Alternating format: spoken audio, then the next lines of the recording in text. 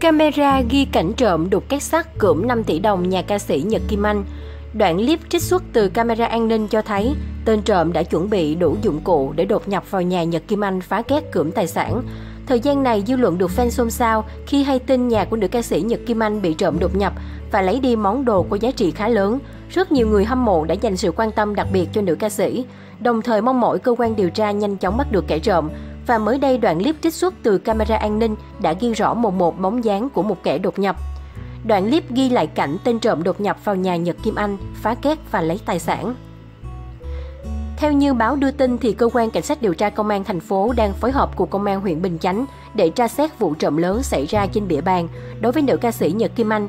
Được biết, nhà của nữ ca sĩ bị trộm đột nhập, phá két sắt và lấy mất khoảng 5 tỷ đồng của cô, gồm 100 lượng vàng, một nhẫn kim cương và 500 triệu.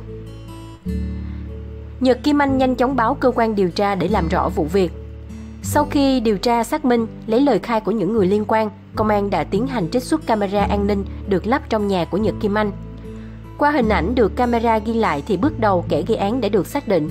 Đối tượng là nam giới có chuẩn bị kỹ càng từ trước khi đột nhập gây án như đội nón, đeo bao tay, đeo khẩu trang, kính mặt, hồng che giấu danh tính. Hắn còn mang theo xà beng để thực hiện trót lọt phi vụ. Tên trộm chuẩn bị khá kỹ khi đột nhập nhà Nhật Kim Anh. Trong đoạn clip, người xem dễ dàng nhận thấy kẻ trộm đột nhập nhà Nhật Kim Anh vào lúc 21 giờ tối ngày 14 tháng 7. Sau khi kiểm tra các phòng, hắn tìm kỹ hơn ở phòng ngủ, rồi bình tĩnh lấy chăn gối, kê két sắt lên trên, Hồng dễ dàng phá két. Quá trình phá két cũng diễn ra khá nhanh bởi tên trộm đã chuẩn bị sẵn đồ nghề. Hắn chỉ việc lấy xà beng đục két rồi lấy hết tài sản bên trong rồi nhẹ nhàng chuồn lẹ khỏi ngôi nhà của Nhật Kim Anh.